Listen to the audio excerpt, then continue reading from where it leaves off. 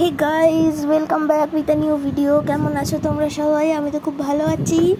এই যে দেখছ, আমি কোথায় যাচ্ছি ট্রেনে করে? আজকে ছিল ফুডের এসআই এর এক্সাম মানে ফার্স্ট শিফটের এক্সাম ফার্স্ট শিফটের তো সেই এক্সাম দিতে যাচ্ছে। আমার পড়েছিল সেন্টার হচ্ছে বারাসাতের সেন্টার পড়েছিল কাজীপাড়া। মানে কি বলব, আমি আর কাজীপাড়া নিয়ে কোনো কমেন্ট করতে চাইলাম না, কারণ অনেক বন্ধুরাই আছে।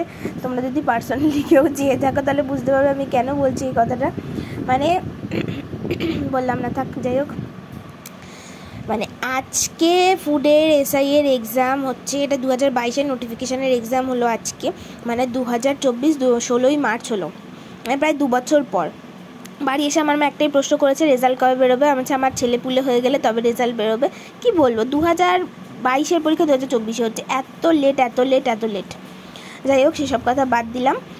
আজকে ট্রেনে গণ্ডগোল ছিল মানে হচ্ছে বহু ট্রেন ক্যান্সেল ছিল। শিয়ালদা থেকে বনগা ডিভিশনে আর আরও অন্যান্য ডিভিশনে প্রচুর ট্রেন ক্যান্সেল ছিল, কারণ হচ্ছে ক্যান্টনমেন্ট বা দমদমের ওখানে মেবি কাজ হচ্ছে।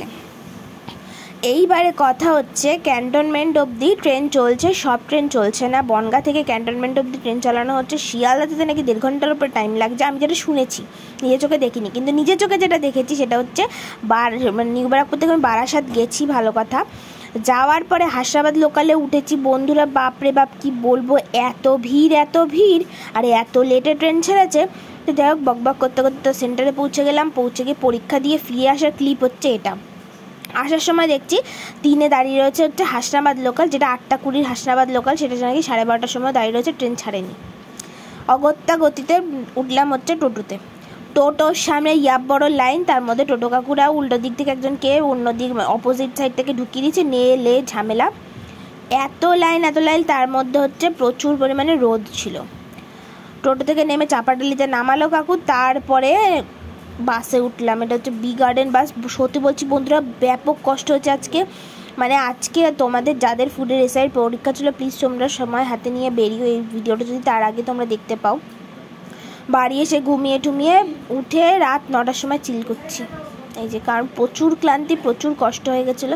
আর এই মোমেন্টে আমার ভাইয়ের সাথে লেগে গেছে আমার ঝামেলা। মানে হচ্ছে ওকে কিছু বললেই ঝামেলা হয়ে যায়। যাই হোক, সেটা কোনো কথা না, সেটা বড় কথা নয় আমার জীবনে। এটা আমি বারো বছর ধরে সহ্য করছি। তার মধ্যে আমার বাবা দিয়েছে ওকে বকা। মানে ও বসে বসে গুলতানি মারছিল, ওকে ঝেড়ে দিয়েছে। এবার তোমরা ভাবতে পারো আমি অ্যাচিভার্সের ওপর পা দিয়ে বসেছি। না, আমি অ্যাচিভার্সের ওপর পা দিইনি। অ্যাচিভার্স থেকে হ্যাঁ অ্যাচিভার্সটা না বন্ধুরা সত্যি ভীষণ একটা ইম্পর্টেন্ট জিনিস, কারণ এখান থেকে অনেক কোশ্চেন এসছে। তোমরা জানো কোশ্চেন লিক হয়েছে। আমি বুঝলাম না এত চেকিংয়ের পর কীভাবে লিক হয়, কীভাবে এরা গাঁজা খেয়ে চেকিং করে। আমাকে তো যেভাবে মেশিন দিয়ে চেকিং করছিল, নিজেকে টেরোরিস্ট মনে হচ্ছিল, সোজা কথা। কি বলব মানে এইসব পরীক্ষা কষ্ট করে দেওয়ার দিয়ে না দেওয়া ভালো। যদি এরকমভাবে কোশ্চেন লিক হয়ে যায়, আমি ফার্স্ট শিফটে পরীক্ষা দিয়েছি, তারপর বাড়ি এসে দেখছি কোশ্চেন লিক হয়ে গেছে। কি বলব? মানে সাহস কত দূর এদের, কিন্তু অ্যাচিভার্সটা ভীষণই কাজ লেগেছে। অনেক কোয়েশ্চেন এসছে এখান থেকে, অনেক ম্যাথসও আমি কমন পেয়েছি এখান থেকে। সত্যি কথা বলতে অ্যাচিভার্সটা অনেকটা হেল্পফুল ছিল। তোমরা যারা কম্পিটিটিভ এক্সামের জন্য মানে ট্রাই করছ, তারা অবশ্যই অ্যাচিভার্সগুলো ফলো করো। তো সবার ভালো লাগবে। তো দেখলাম পাশে হাজার টাকা পড়ে আছে। ভাবলাম আমি কিছু কিনে, কেনাকাটা করি। ভাবলাম, না, এটা আমার টাকা নয়।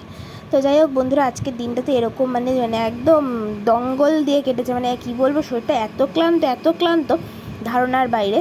তো যাই হোক ভিডিওটা কেমন লাগল তোমরা অবশ্যই কমেন্ট সেকশনে জানাতে ভুলো না। কিন্তু দেখো আমার ভাই আবার পড়তে বসেছে। বুঝতে পারছিল না, আমি একটু ভিডিও ক্লিপ করে নিয়েছি। আমি টাকাটা দেখাচ্ছিলাম আর ও ভেবেছিল আমি টাকাই দেখাচ্ছি, কিন্তু না। ও ভিডিওর ক্যামেরার সামনে খুব একটা আসতে চায় না, রেগে গেলে তো আসতে চাই না। আমি একটু দিদি, একটু পিছনে তো লাগবোই ওর। তো যাই হোক, এখানেই শেষ করছি ভিডিওটা। দেখাবেন নেক্সট ভিডিওতে ততক্ষণ tata bye bye love you all